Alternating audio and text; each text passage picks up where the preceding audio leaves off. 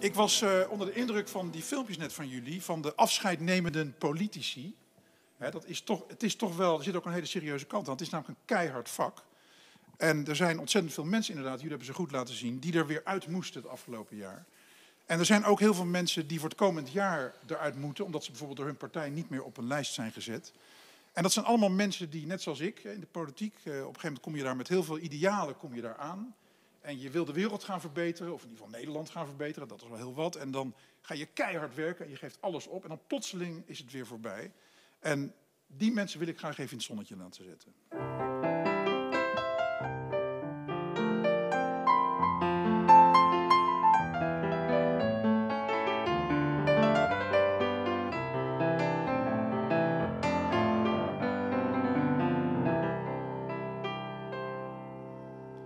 Je weet nog goed die tijd van toen. Je kwam hier aan, je was nog groen. Je dacht, de wereld gaat niet goed. En daar ga ik eens wat aan doen. Met veel ideeën in je hoofd.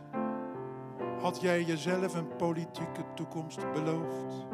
Je had het je vrienden al verteld. Die vonden jou meteen een held want jij ging in de politiek. Voor het land, niet voor het geld.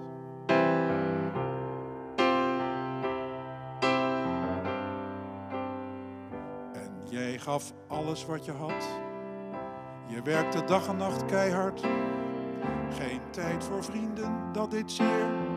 Thuis zagen ze je ook al nauwelijks meer.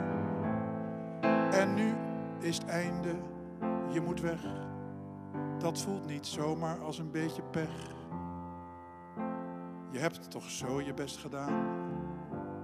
En stiekem laat je dan die traan.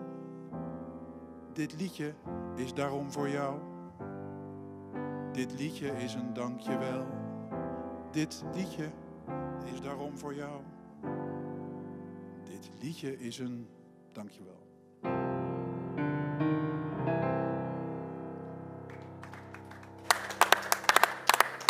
Tranentrekker. Ja, dat is de gevoelige kant. Ja, die heb ik echt wel.